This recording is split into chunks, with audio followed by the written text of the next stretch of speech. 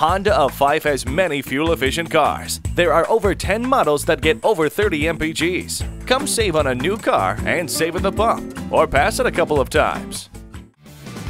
The redesigned 2012 Honda Pilot.